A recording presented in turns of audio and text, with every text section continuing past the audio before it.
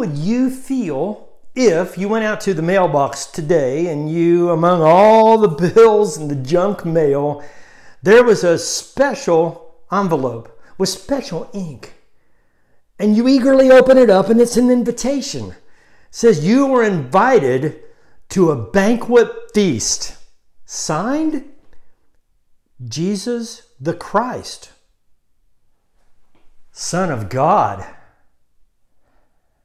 You don't have to guess how you would feel because you see, Jesus has made that invitation to you and to me.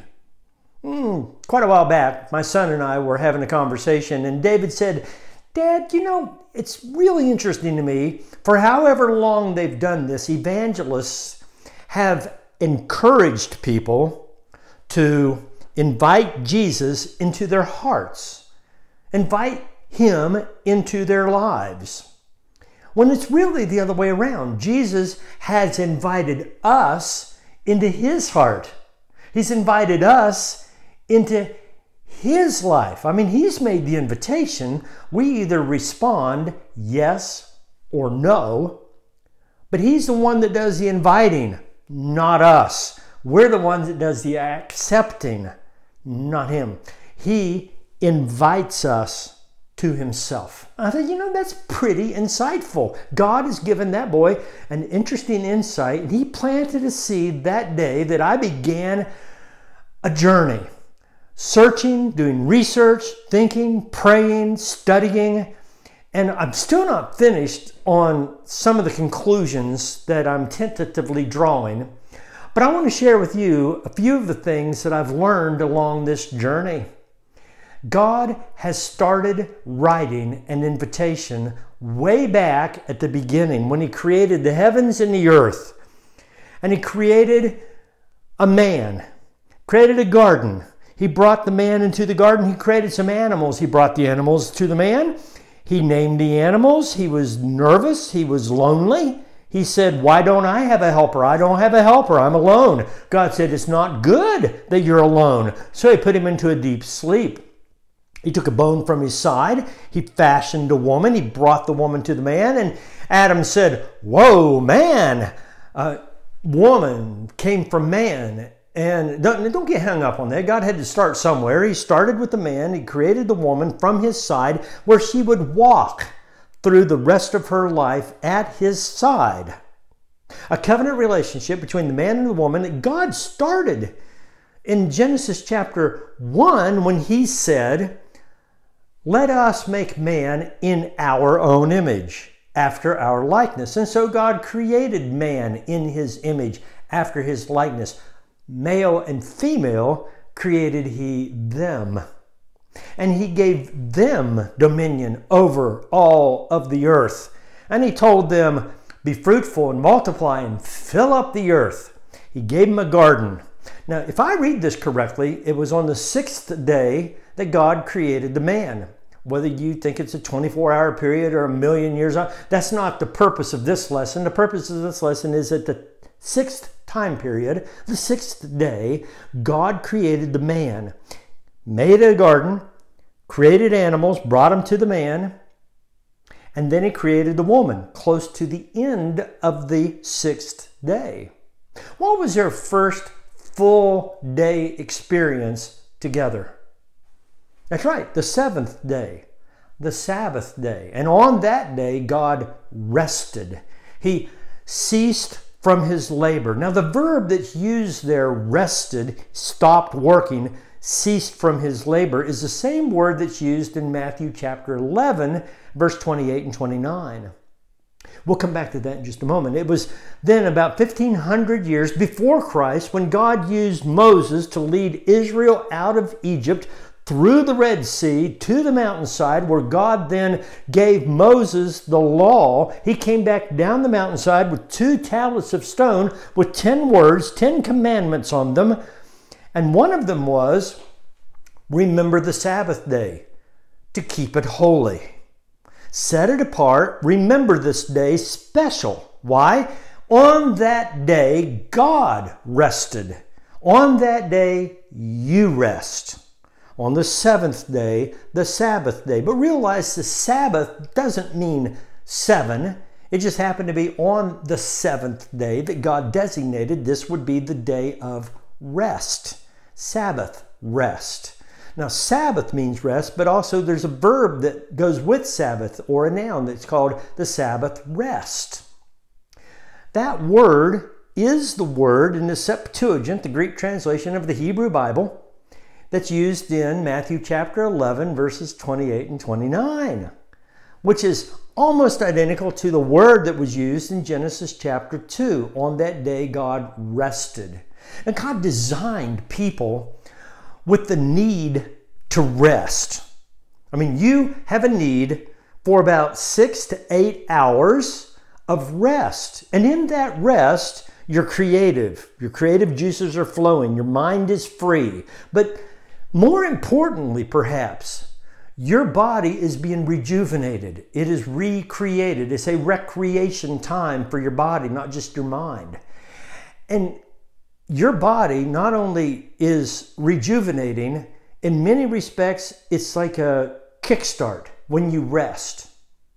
When you have decent amount of rest, your mind is clearer, you have more energy, and you're able to accomplish far more. It used to be thought that if you stayed up late at night, you burn more calories, you burn fat, and so it's actually a sort of a dietary aid to stay up through the night. Now they know differently.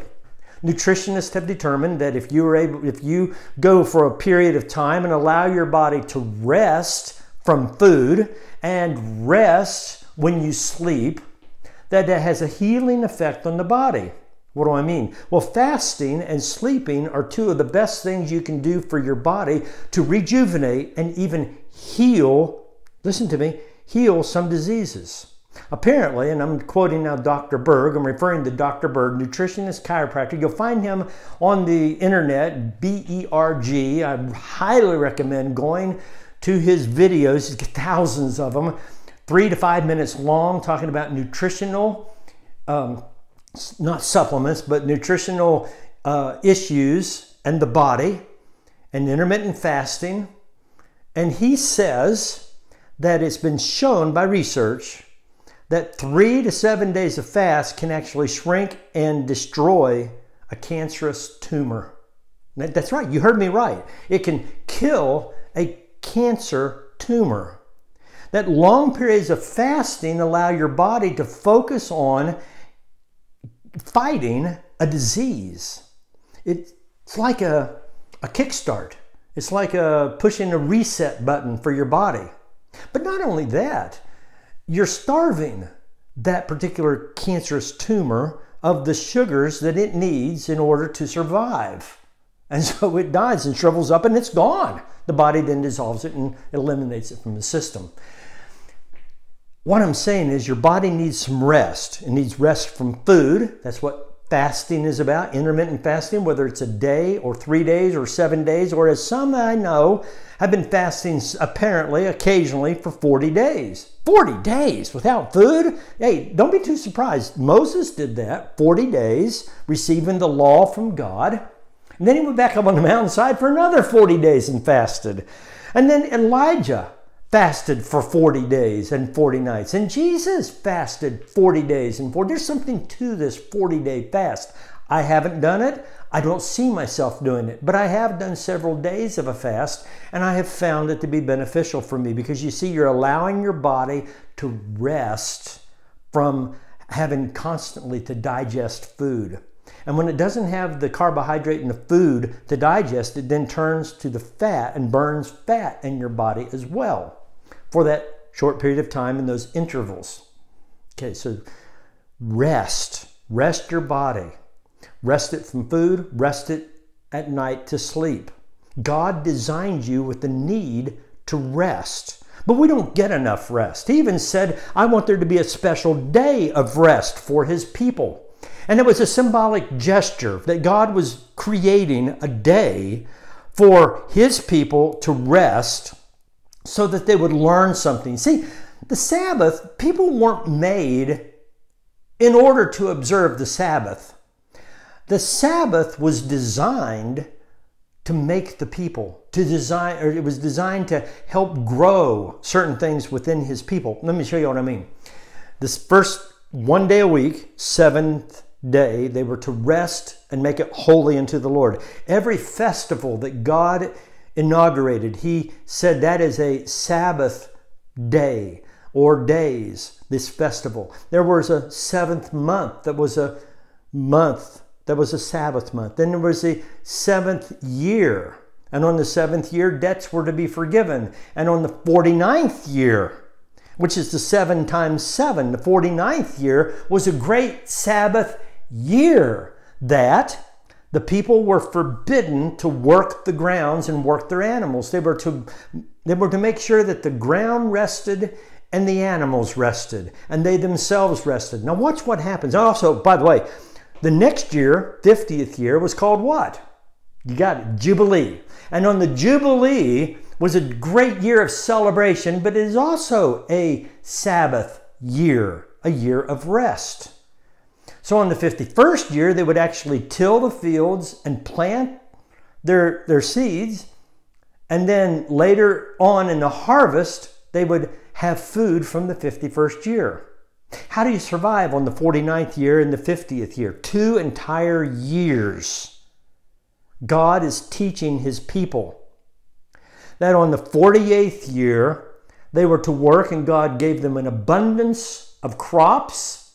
And then on the 49th year, they were to do no work and they would live off of the 48th year.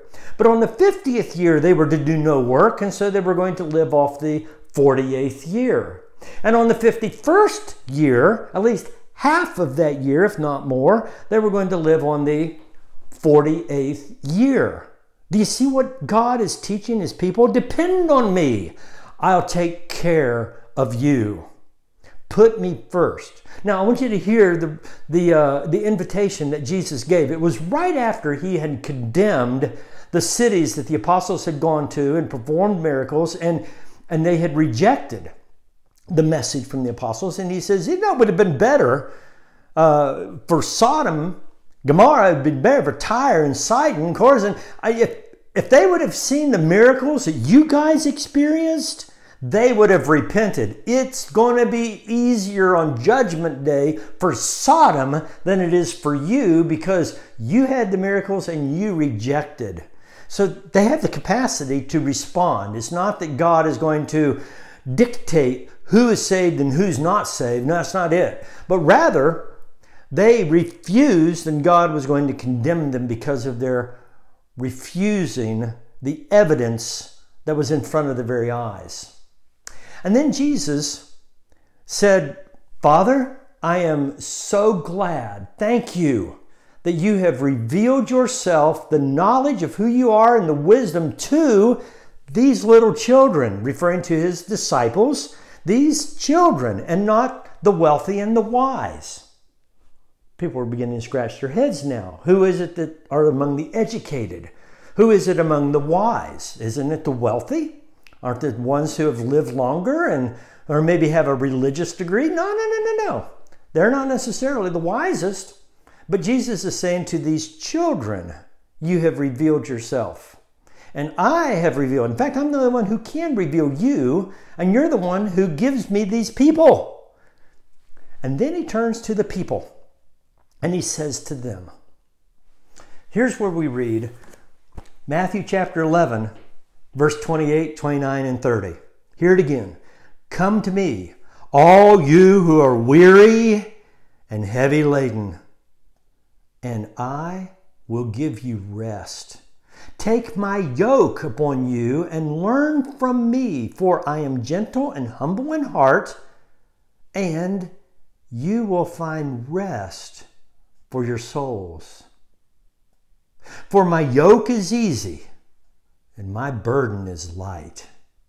Right after that, Matthew records two events concerning the Sabbath and disagreements that the religious leaders had with Jesus concerning the Sabbath. The first one was the disciples were walking through the fields, they were getting some grain, rubbing it, and they were eating the grain that they had just harvested, according to the Pharisees, the religious leaders of the day. They were working on the Sabbath. And now, why do you let your disciples do that? And Jesus answers them by saying, What about David?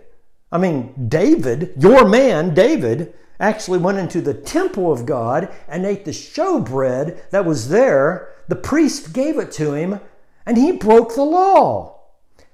Why would Jesus use that argument? Real, real quickly, as a side point. Who are they expecting to come to rescue them from Roman dominion? That's right, the son of David. A descendant of David who would be a bloody revolutionary, an insurrectionist, one who would lead the people to a bloody revolution, overthrowing the Roman government and establishing the kingdom of God on earth, where all the nations of the earth would come to Israel to have relationship with God and to receive blessings from God. And by the way, probably pay homage to God by giving those blessings to the people. They were expecting that. They were expecting a king like figure, son of David. So Jesus refers to their man and he says, What about David? He actually broke the law. See, they didn't break the, Jesus didn't break the law. His disciples didn't break the law. It was one of their traditional commandments that they had laid on top of the law. See, the Pharisees were really good at creating a lot of commandments to make sure that the people did not break the laws of God. The Old Testament has about 635 laws, 637, give or take. And then on top of that, the Pharisees had added thousands and thousands of other commandments that if you kept those commandments, you would automatically keep these other commandments. They were obligatory, mandatory for all the people, especially the Sabbath day. They really believed that if they, as a nation, could keep the Sabbath holy, one day perfectly holy, and no one violated any of their commandments on the Sabbath, Messiah would come. The revolution would begin. They would overthrow the shackles, they would throw off the shackles of Rome, and they would establish the kingdom of God if they could only keep one pure Sabbath. Now here comes Jesus. Jesus obviously is a candidate to be the Messiah until they see him breaking their traditions, their laws. Now they have trouble with the man and they set out to destroy him. And then the second argument he makes is you know, in the law itself, God tells the priests to break the law. Because on the Sabbath, when it comes time to circumcise the baby, if it falls on the eighth day and it's a Sabbath day, the priest is to obey the law and circumcise the child and disobey the law by doing work on the Sabbath. So God told them, You will obey the law by disobeying the law. now that really threw them into a tizzy. They thought, what, how are we going to handle that argument, right? I mean, it's kind of like the police officer has to go 80 miles an hour to catch you going 75 miles an hour because you're in the speed zone of 50 miles an hour. He broke the law to catch you breaking the law, but you can't turn to the judge and say, well, he broke the law too because he broke the law in order to keep the law to give you a ticket for breaking the law. That's what Jesus is saying. The priest, in order to keep the law, they had to break the law. And so, even if they are breaking the law, it's permissible. Because you see, the Son of Man is Lord of the Sabbath. I'm over this rest thing that I'm teaching them how to depend on me. Is there, and then there, the other example that Matthew gives is the man with the withered hand in the synagogue. And they say, Is it lawful to heal on the Sabbath? And Jesus responds, Is it right to do good or to do evil on the Sabbath? And they refuse to answer. And Mark says Jesus became very angry at them because they refused to answer the question. And so he didn't touch the man. He didn't do anything special. He just simply told the man. He, in fact, I guess in a way, invited the man to do something. He said, Stretch your hand out. And as he did, his hand, his withered, shriveled hand, became whole. He was healed. Instead of celebrating this and thanking God for expressing his power and healing this man even on the Sabbath day, they, the Jewish leaders, set out to kill Jesus, to design ways to entrap him and ultimately kill him. Why? Because he broke the Sabbath. He obviously could not be the Messiah. Messiah would never do that. In fact, he would lead us to keep the Sabbath holy and never work. But what Jesus says, introducing these two issues with the Jewish leaders in Matthew chapter 12, Matthew tells, tells us on page 11 of his book that Jesus makes this special invitation to them, and through the 2,000 years of time, it still rings to us. Come to me, all you, all you who are weary. I mean, you're frazzled, you're razzled, you are bedazzled, you are stressed, you're hurting, you're grieving, you're mourning, you are so torn up. People close to you are getting sick. They're dying. you are being rejected. You maybe lost your job. You're, you're wondering how I'm going to pay the bills. How are we going to pay for our house? Are we going to live homeless? What's going to happen? Can we depend on the government? No. Can we depend on Trump? No. Can we depend on any president? No. Who can we depend on? Where can we turn? And Jesus says, Come to me, you weary people are you weary? Do you feel stressed out? Do you feel like you're losing hope? Jesus said, Come to me. Are you heavy laden? The religion that you thought was going to give you life has actually weighed you down. And you're finding that the church maybe even has added a lot of commandments that Jesus never added. And that in order for you to feel like you're accepted, you're going to have to keep these things. You're obligated to do these things. And even the things that Jesus has commanded, you're saying, all right, I guess I'm going to have to do this because I don't want to go to hell. I want to be able to go to heaven, so I better keep the commandments because I don't want to be punished. And you're obligated to do that. See, it's burdensome. But Jesus says this Come to me, you are, you're weary, you're heavy laden. I'll give you rest.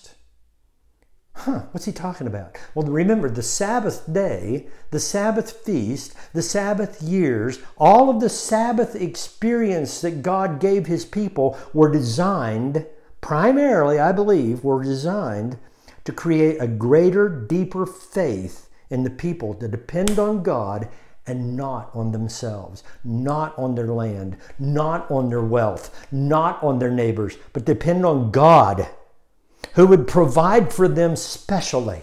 As he did through the wilderness the manna, as he did through the wilderness the raven, as he did through the wilderness when Christ the rock followed them through the wilderness and he hit the rock and water came out. Listen, God provided for the people 40 years. And he told them when you go into the land and you're in houses you did not build and you're eating from crops you did not you did not plant. You didn't harvest. All you did was go out and collect and you're experiencing a wealth that you did not earn. Remember, it is the Lord who has given you these things. I don't care what you've built, I don't care what you've inherited. Whatever you have that's good in your life is from the Lord. And whatever you have that is negative in your life, that's harmful and hurtful and stressful and weary producing, God is there to work through those circumstances to train you. Trust me. Give me. Give me those issues. I'll give you rest. See, in the midst of all of that, you can go through any circumstance with hope in your heart, a dependence on God, because you know that the God of heaven loves you deeply and He'll take care of you. He promised it. He said, Look at the, the birds of the air, look at the flowers of the field. God feeds them, God clothes them, God takes care of their needs. And if God will do that for them, won't He do that for you? Aren't you more, aren't you more valuable than the grass of the field? Aren't you more valuable than the birds of the air? Come on, people. Where's your faith? Oh, you, he says, of little faith. So don't seek after what you're going to wear, what you're going to eat, what you're going to drink. The Gentiles, the non believers, the heathens of the world, they eagerly seek after those things. But you're different. You've chosen a different lifestyle because God has chosen you. You've chosen a different lifestyle. Seek first the kingdom of God.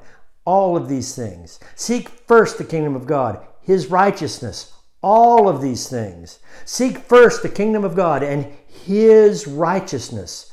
He will provide all of these things.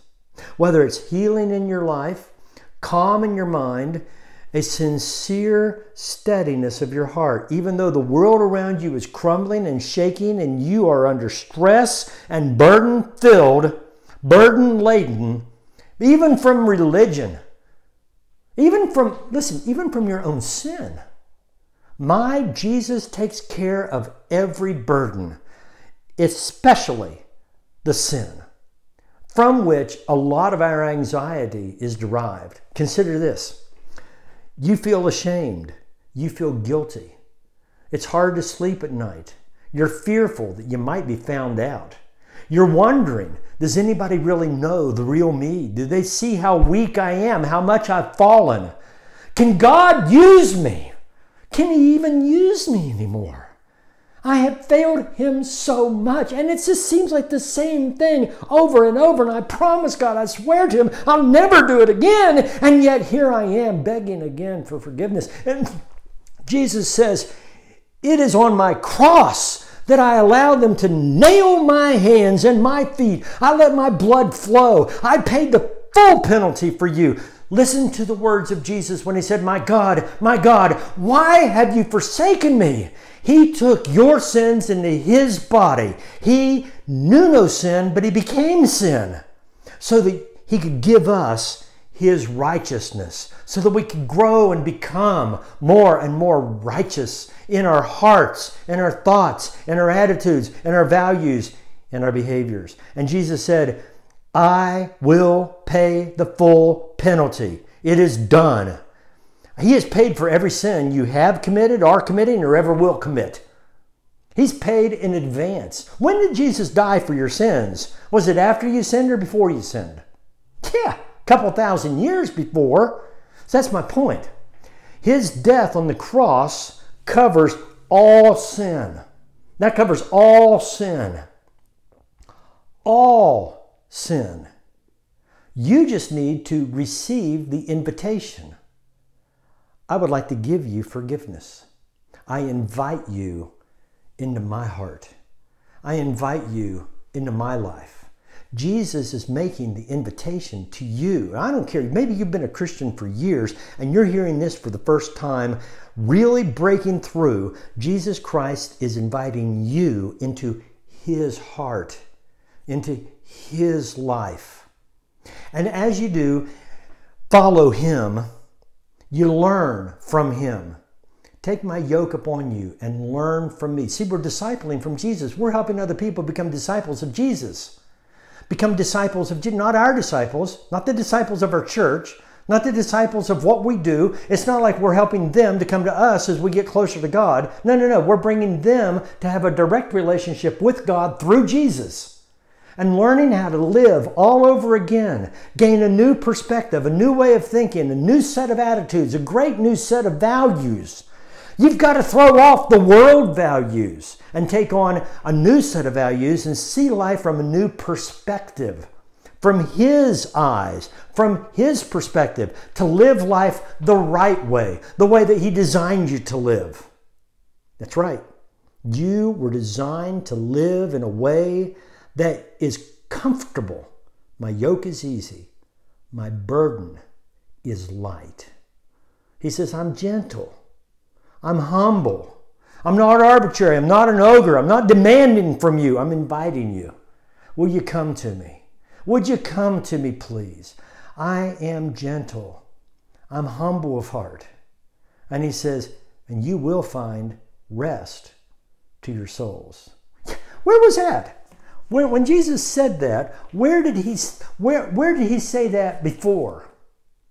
Well, I, I, I, don't know. And you look through Matthew, Mark, Luke, and John, and you're not going to find it there. You're going to find Jesus saying that before to the people of Israel through the prophet Jeremiah. It is through the Spirit of Christ that Jeremiah prophesied. And Jeremiah says, Stand by the ways and see, and ask for the ancient paths where the good way is and walk in it. And you will find rest for your souls. But they said, We're not going to walk in it. And I set watchmen over you, saying, Listen to the sound of the trumpet. What did the watchmen, what were they for? The enemy's coming! Wake up! They blow the trumpet to wake up the people, and here's what the people said We will not listen. Therefore, hear, O nations, and know, O congregation, what is among them. Hear, O earth, behold, I am bringing disaster on this people and the fruit of their plans, because they have not listened to my words. And as for my law, they've rejected it too. You'll find rest for your souls. God promised that to Jerusalem. God promised that to the nation of Judah, and they refused. Jesus promises that to us. He has revealed himself to us as the Son of God. He's revealed himself to us as fully man who lived a life like we live. And he died to pay a full penalty for our sins. He was raised from the dead, and he invites you now, today. And as long as it's called today, listen, today, don't harden your heart in unbelief. Turn to Christ in belief and accept the rest that he gives. Paul Harvey said, and that is the rest of the story. This is his story about rest.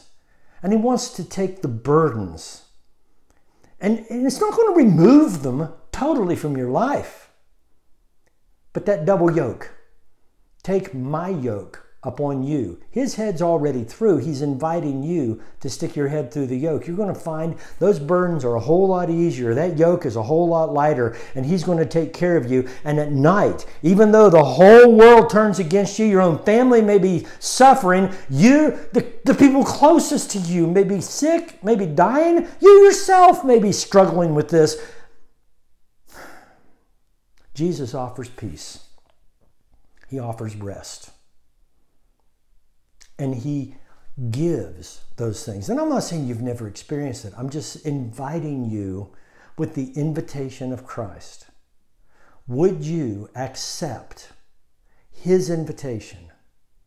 Because His yoke really is easy, His burden really is light. It's living a life of love. It's living a life of love where you're seeking to, to bring pleasure and honor to another. When you do things out of obligation, it's a huge burden.